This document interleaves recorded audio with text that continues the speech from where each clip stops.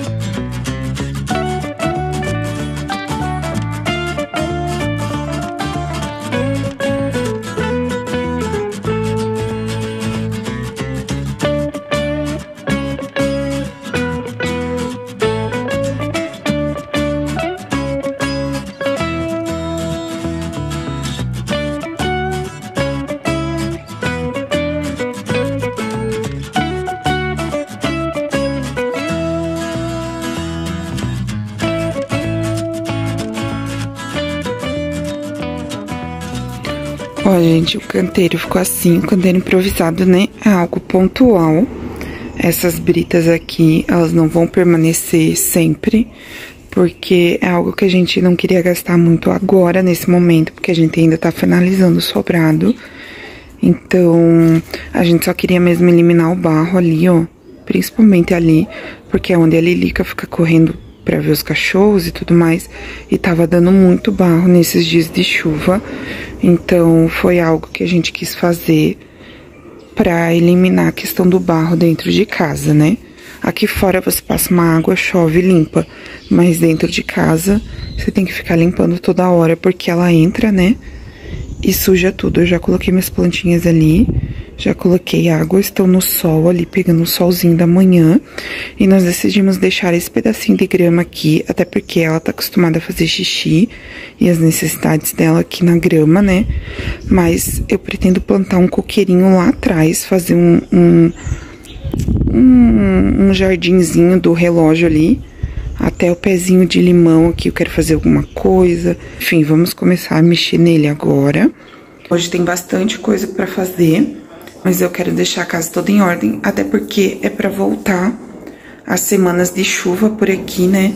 Então, eu quero ver se essa parte é, de roupa, de roupa de cama, toalha, tudo mais, fica tudo certinho.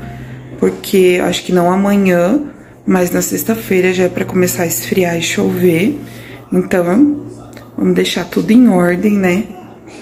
Pra que nos dias de chuva a gente não precisa fazer nada. Então, Cadê o bracinho quebrado do Léo? Olá! Mas já tá tudo bem, né?